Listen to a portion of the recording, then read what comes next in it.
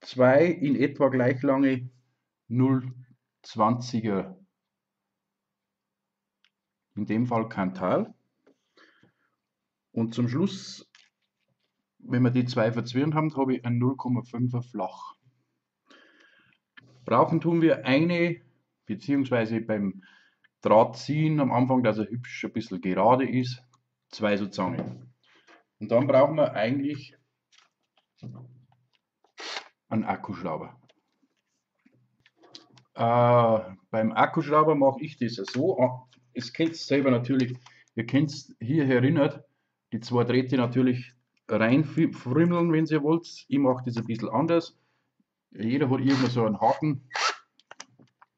Den hat da einer. Dann nehmt euch von die 2020er Kantal die Enden, verdrillt es ein bisschen, macht es in den Haken rein. Ich lege jetzt das einmal so her, vielleicht sieht man es. Schiebt das einfach durch.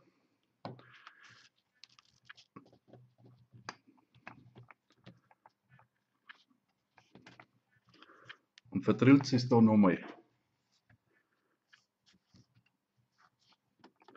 Das wird dann sowieso weggeschnitten. Also das ist die Methode 1, die Methode 2, das wie gesagt, das Kind selber entscheiden. Wichtig ist, dass das zentral da hervorn dann, wenn ich da hinten drehe, jetzt könnt ihr es euch schon denken, ziehen wir die, die beiden Drähte gleich und Nehmen Sie dann hinten mit einer Flachzange, wenn Sie Flachzange jetzt so ansetzt, das wisst ihr, dann wird es durchrutschen. Also müsst ihr ein bisschen immer so schräg gehen, dass die Zähne ergreifen. Also die beiden Drähte sollen schon gleich lang sein. Und dann geht es ein bisschen auf Spannung. Und dann dreht es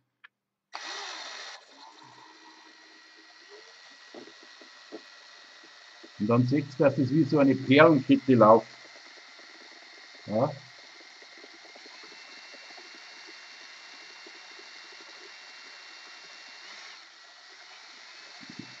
Und ich mache das jetzt bei so dünnen Drähten so, an irgendeiner Stelle gibt er dann auf, bei den dünnen Drähten. Beim 030er, sobald man merkt, dass die Spannung größer wird und die Zange Richtung Akkubohrer, Akkuschrauber dann reicht es in der Regel aus. Ich versuche jetzt das einmal ein bisschen so nah ran zu bringen. Ich gehe mal kurz vom Autofokus raus.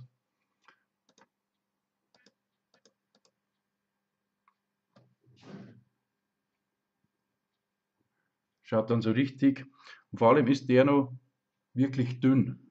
Ja? Weil meistens werden die Sachen gezeigt mit einem 40er, äh 040er oder 050er Draht oder 035er. Dann hat hat man bei gewissen Verdampfern dann äh, Probleme zum Einspannen und man möchte ja vielleicht einmal eine Wicklung mit 1,5 Ohm oder 1,4 Ohm machen und trotzdem in den Genuss kommen, dass man hier sowas verzwirnt. Dann gibt es jetzt noch mehr Möglichkeit. Entweder ihr spannt den Verzwirnten hier nur mehr ein und parallel dazu den Flachdraht, dann habt ihr aus demselben geraden Achse könnt den rum, aber ich finde das nicht so gut. Und jetzt müssen wir ein bisschen, ein bisschen fummelig wird es jetzt. Könnt ihr es euch schon denken. Jetzt haben wir hier den verzwirnten Draht, der kommt in die Mitte. Moment einmal, muss ich wieder auf Autofokus da, gell? So. Also,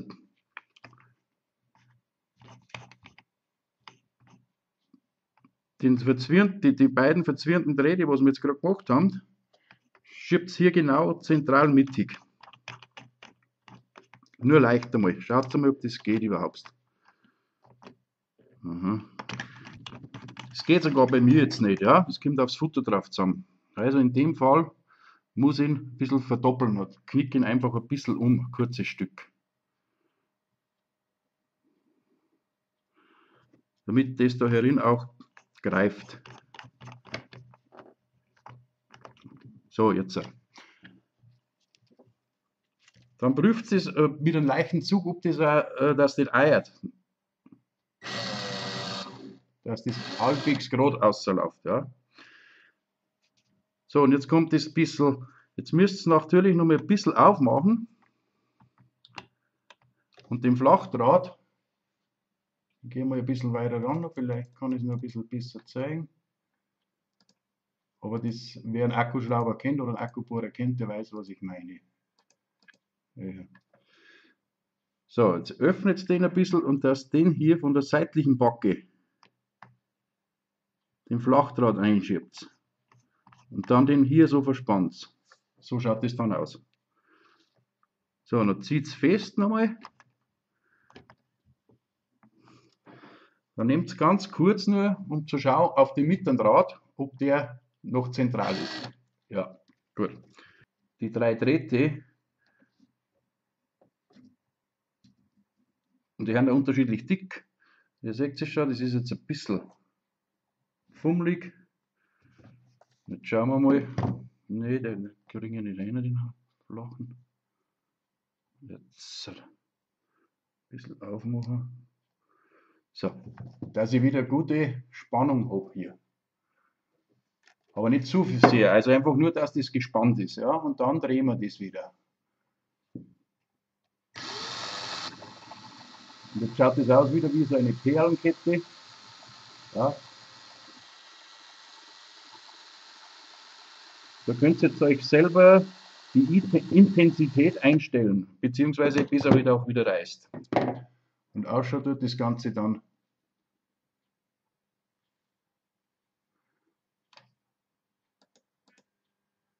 So. Schaut direkt aus wie mit Diamanten bis jetzt. Gell? Und ihr habt immer noch ein, ein ihr könnt es auch leicht ausglühen dann, je nachdem, was für Wicklung das macht. Das ist eigentlich schon die ganze Kunst. Ne? Es gibt äh, viele Möglichkeiten.